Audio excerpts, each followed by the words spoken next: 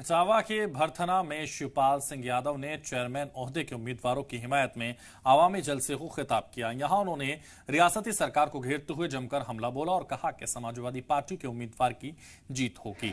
साथ ही समाजवादी पार्टी को वोट देकर जिताने की अपील भी उन्होंने की। शिवपाल यादव ने भारतीय जनता पार्टी के आवामी नुमाइंदे को भूमाफिया और सबसे बड़ा माफिया बताया। देखिए, पूरे उत्तर प्रदेश में समाजवादी पार्टी मजबूती के साथ चुनाव लड़ रही है। और फिर जीतेगी। समाजवादी पार्टी जीतेगी।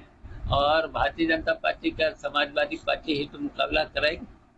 और मुकाबला करके हमारे जितने भी बहादुर हमारे कार्यकर्ता हैं, वो समाजवादी पार्टी के प्रत्याशियों को जिताएँगे।